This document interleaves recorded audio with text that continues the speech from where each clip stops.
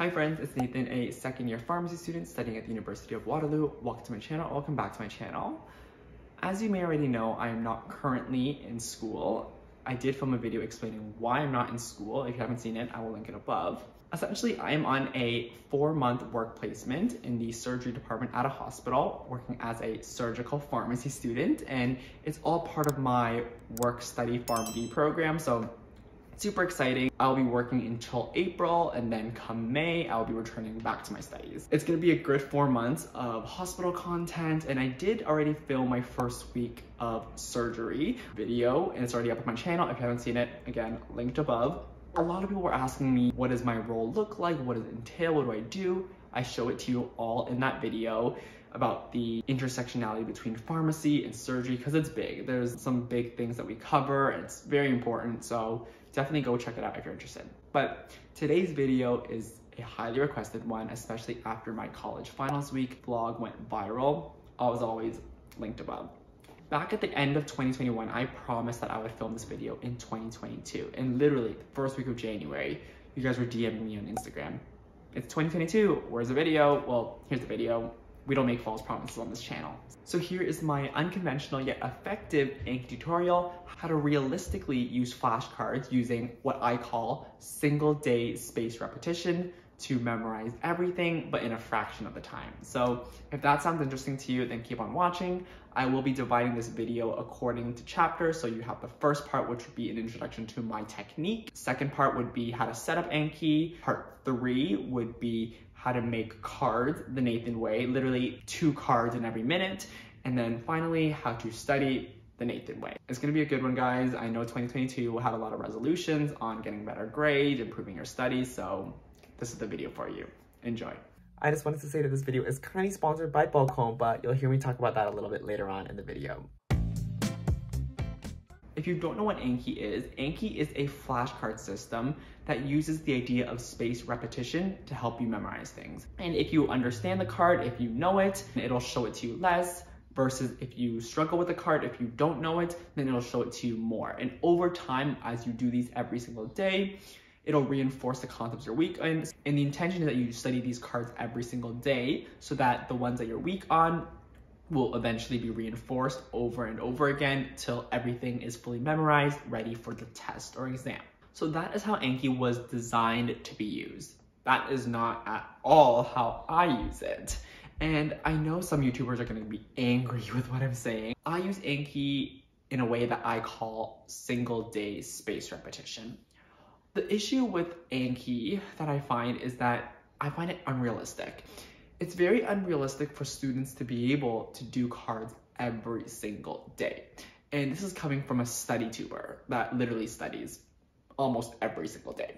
You have people like Rachel Southard, who is absolutely amazing, that does cards every day, and it's actually incredible. But for the majority of students, it's just not possible. And Rachel, if you're seeing this, love you, let's be friends. But essentially, it's just not very realistic for a majority of people. And that's what I realized myself. And that's why I developed my own technique to allow me to still memorize, but in a fraction of the time and get the grades that I want. So the first step is to download Anki. Anki can be used on Mac, Windows, Linux, iPhone, Android, whatever, you name it. To save you the hassle, I already included the download link in my description box. Once you've downloaded and set up the application, you're going to do an add-on. Now, add-on are tools that allow you to customize your cards and essentially make Anki work for you. Now, the add-on that we're gonna be using is called Image Occlusion Enhance, and it is how I make all my flashcards, and it is how I'm able to make two flashcards for every minute. Once you open Anki, you're gonna go up to Tools, then you're going to click Add-on, and then you're gonna enter in this code on the screen here and then it's added. Hey guys, I wanted to pop in and tell you this video is kindly sponsored by Bulk Homme, a Japanese skincare line specifically for men. Now, the word bulk in the Japanese cosmetic industry refers to the product inside the packaging, and then homme is the French word for man. Therefore, Bulk Homme is a skincare company specifically formulated for men that prioritizes substance over style. As a pharmacy student, I always look at the ingredients, and Bulk Homme uses plant-based and key ingredients such as apple extract, which moisturizes and conditions, uses no synthetics, all the while being cruelty-free. As well, my skin is very sensitive, so I don't like using products with a heavy fragrance, and Bulk Homme has a very light and refreshing fragrance that doesn't irritate my skin. So I have you propped up here on my sink, and Bulk Homme uses a three-step routine of cleanse, hydrate, and protect. So we're just gonna get started. Starting with the first product, the face wash. So I'm gonna actually use their bubble net. Working at the hospital all day, my face is oily, dirty, and the mask I wear tends to clog my pores. So this cleanser combats all of it. With the bubble net, the face wash becomes this luxurious foam that gently cleanses without being over drying. Then I use the toner, which is a lightweight, watery moisturizer that calms my sensitive skin. Lastly, the lotion, which is non-greasy and milky, protects my skin against these harsh negative 15 degree winters. It is so important for us men to take care of our skin now so that we don't run into future dermatological issues such as sun damage or scarring, which I see in practice all the time. The face wash retails for $23 and the toner and moisturizer retails for $32. If you're looking for a high quality and affordable skincare brand, I highly recommend you check out Bulk Homme. I will attach the link below so you can do some shopping and check them out. Thank you Bulk Homme and let's continue on with the video. I realized that the biggest issue people have with flashcards is the amount of time it takes to make them. Now, I can see why they may say that, but with my technique, literally two flashcards for every single minute. It doesn't get better than that.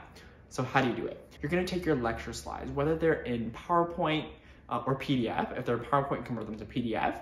Once it's in PDF form, then you're gonna convert them into JPEG. Now I've linked my favorite converter down below. It takes every single slide or every single page into a picture, into a screenshot. And each screenshot is gonna be your flashcard. I have lectures that have 150 slides. I wanna emphasize that not every single slide is going to be a flashcard because not every single slide is gonna be important for your exam.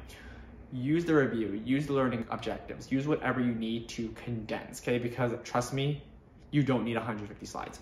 Um, so I had for, what is it, COPD Therapeutics, it was a 130 slide document. I only made 60 flashcards out of it, 60 slides that I actually kept that were important. So again, use your judgment.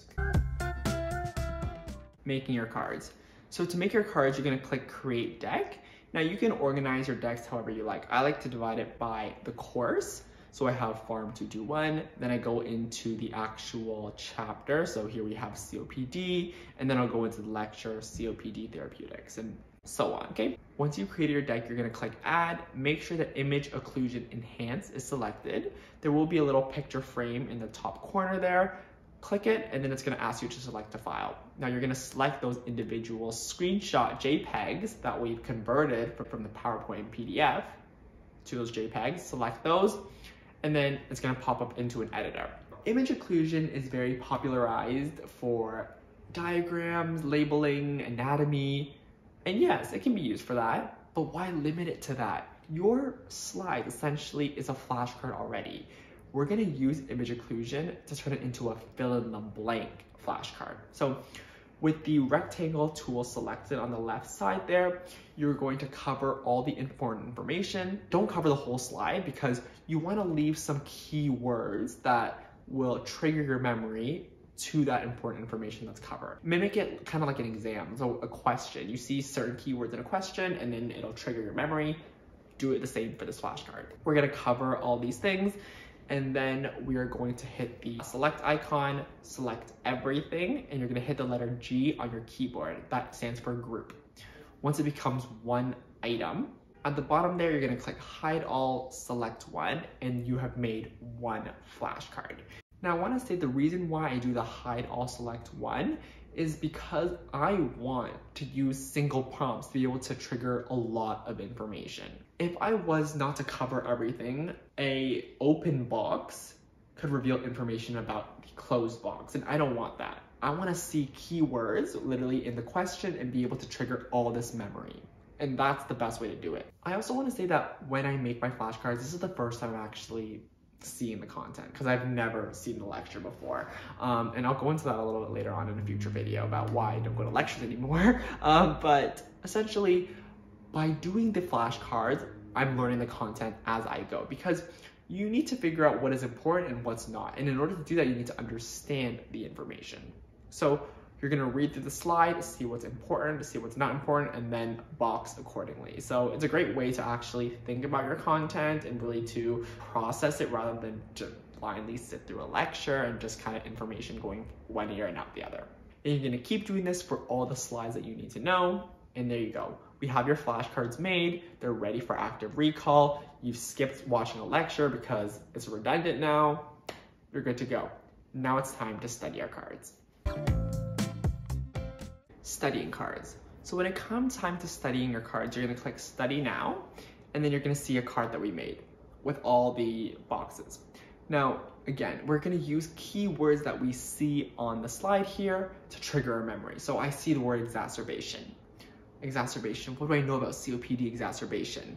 And then I'm gonna start listing what is underneath those boxes. Now, this process requires thinking, right? So, you know, I see the keyword, I'm thinking, triggering memory, making connections, and then I'm verbalizing it. I always recommend you to speak it out because the more senses you engage in, the better it is retained. It stays in your head. So that's why I'm a nightmare to study. That's why you always see me talking and using my hands um, when I do my Anki cards because it just helps with memory. This is active recall, okay? We're thinking, we're verbalizing it, and then once we verbalized it, we're gonna click the space bar and that's gonna reveal the answers. Let's say we got it wrong. We're gonna click again, meaning we're gonna see the card again. Now this is where that space repetition is happening, okay? You don't know it, it's gonna show it to you again to reinforce it. So here we have it again. This time we get it right. We're gonna click easy and we won't see it again. It is a very intuitive strategy, but here's where the twist comes in with Nathan's way. Remember when I said that I use a technique called single day space repetition? What does that actually mean? Single day spaced repetition means that I'm only spending a day for a deck. Once I finish the deck, once it says congratulations, I will not be going back to it. I will not be doing more active recall. I will review my cards passively the morning of the exam, but other than that, my studying is done. And in order for this technique to work, it's very important that you are critical and you are harsh with whether you click easy or whether you click hard. If you're gonna click easy, make sure that it's easy. Make sure that you know how to do the question. Make sure you know the answer. Make sure that if you were half asleep, you could still get the answer right. That is what easy means. It's gonna be a very intense session. Usually I do it like two, three days before my final or before my test. So those two, three days are very intense. It's a full day of just active recall. But those three days are so intense that my brain gets so saturated that all the information is retained. It's whether you want to work smart or hard. And for me, and I know a lot of other students too, working smart is more important than working hard yes, you might not get a few questions, but the amount of time that you can save that you can be doing other stuff and remain diligent and not feel bad that you're not doing your cards every day, I think that's worth it. And I've been getting great results throughout my academic career and I post my live reactions to my grades on this channel so you can check that out linked above i do think it's worth it and i know so many students that will not touch anki or go near anki because of this everyday spaced repetition fear. And as a result, they're missing out on all the benefits of active recall. They're not linked together. You can do Anki, you can do flashcards without having to do cards every single day. I want as many people to reap the benefits of flashcards and active recall. And with my technique, you are able to do so. As long as you're being intentional and systematic with how you are running your study sessions, you will be able to memorize everything that you want in a fraction of the time and in a realistic and practical manner. Pharmacy school runs a very, very tight exam schedule. I have an exam every two weeks. So I had to learn how to adapt and develop, and Anki has developed with me. I use this technique for all my exams. I make my cards in a few days, then I study them in a few days, and I end up doing fine. You can see my results. I post all my live reaction to my grades on this channel. So if my words are not convincing you, let my actual grades convince you to try this technique out, guys. I'm telling you, this will revolutionize your study technique. If you enjoyed the video, please make sure to give it a like. Let me know in the comments what class you're using Anki for and whether you're gonna try out this technique. I know Anki was a huge learning curve uh, for me and for many others, so I would love to support you and have this community root for you as well. If you wanna see more study advice, study vlogs, hospital vlogs, make sure to subscribe and hit the bell icon so you get notified every time I post a new video. And if you want more day-to-day content of my life, follow me on Instagram at nathan.wu. And for more entertaining, educational content, you can follow me on TikTok. But that's it for me, and I will see you friends in the next video. Bye.